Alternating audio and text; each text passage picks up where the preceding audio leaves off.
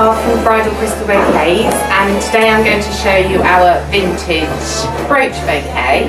Um, so this is full of um, vintage brooches and you can even add your own brooch so if you have something special maybe from your grandma or your mum we can pop that in as well. Um, and um, we've got lace handle but we can change the handle if you wanted a different handle.